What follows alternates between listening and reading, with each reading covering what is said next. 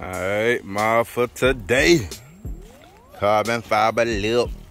Alright, definitely do not buy the front lip kit that says Q50, Q60, G37 that fits all.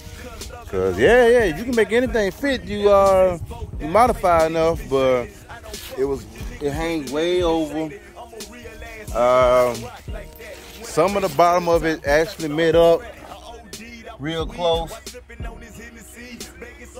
Some of it didn't. Some of it got a gap. So I got a lot of screws in there holding it on.